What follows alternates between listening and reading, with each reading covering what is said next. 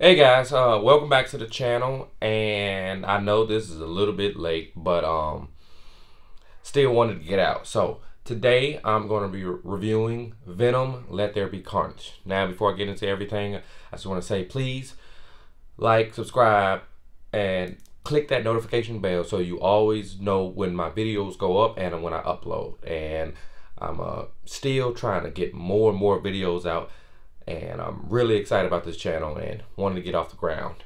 So, with all that out the way, let's get into it. Now, this movie stars Tom Hardy, Woody Harrelson, and this is the sequel to the 2019 hit Venom.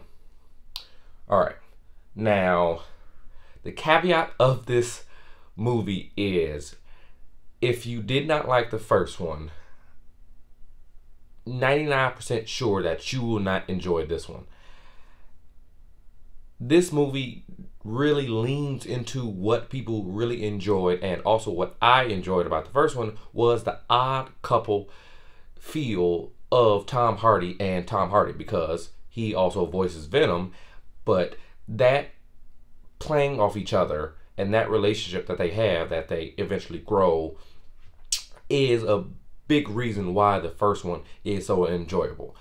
And they're just two likable characters and they fit really well together. So, if you didn't like the first one, more than likely you're not going to like this one. But speaking of this one, they really do lean much more into the relationship between them. And in the second one, they really dive into the nuances and little intricate things about living together because Venom lives inside Eddie, and it's a big problem because Eddie doesn't necessarily doesn't like Venom coming out and people seeing him, and that's a major thread in the movie of them finally getting on board with each other and like being comfortable with each other. It's really sweet in that way where it's like they come to like realize they love each other, and I thought that was a really nice thing that they added for the movie. So that's one aspect I liked, and that's one aspect I know is going to be very dividing for people because it is aspects that some people didn't like in the first one, some people did. So I'm gonna be saying that a lot because this movie takes a lot of the first thing uh, concepts of the first one and kind of just blows it out of proportion. Now let me get to the villain of the movie and the villain in the title, Carnage.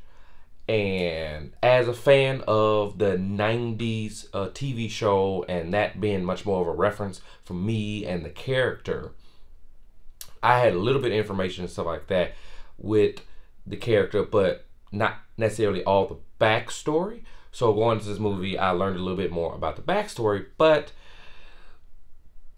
it still wasn't as much as it could have been or weight it could have gave, especially since it is a secondary villain that is also in this movie that you really don't get to learn any of or understand how she has her powers or anything like that. But besides the backstory, I did love Carnage in this movie. He was as crazy as ever. He was a madman, even in the way Woody Harrelson had the character speaking. It just felt like this was a person who was unhinged, just like the Cletus Kasady character from the 90s show and the comics.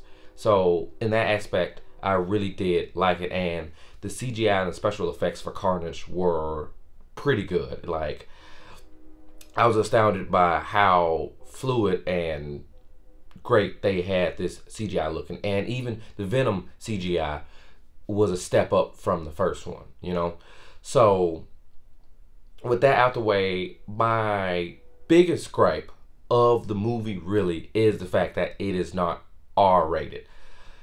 If anybody knows Carnage, Carnage is a very R rated TVMA hardcore character, and it just felt like they had to do so much heavy lifting to make this a PG 13 movie when it just so easily could have been R rated. And with everything happening, with the box office, everything like that, I understand, but I just felt with that that led into problems with editing and chopping up this movie and also the runtime because it it was quick and it was going, but it just felt like they had to take out so much stuff and edit it around so many things that it became noticeable in areas where they was trying to make it PG thirteen. So that's probably my biggest gripe with that movie. But I cannot say I was not entertained by this movie and the odd couple feel and also the third act when they really get into it. This movie is entertaining. And side note, stay to the end after the credits because the after credit scene will blow your mind. Um, it is worth the price of admission to see this after credit scene and see what the future holds. So I'm just say that and nothing more. But overall, I did enjoy this movie, but the story was a throwaway um, plot wise. You're not coming for this movie for plot. You're coming for the odd couple pairing of Eddie Brock and Venom to face the lunatic of Carnage. And for the most part, you get that. Besides the PG 13 R rated conversation, this movie was enjoyable. It had its problems, but still enjoyable. So I'm gonna probably give this movie a 2.5 out of 4. I would recommend it, but with the caveat if you didn't like the first one, then you're probably not gonna like this one. So, did you see the first Venom? Did you like it? Did you not? Did you watch the 90s uh, TV show? of Spider-Man with Venom in it. Did you read the Venom comics of the 90s?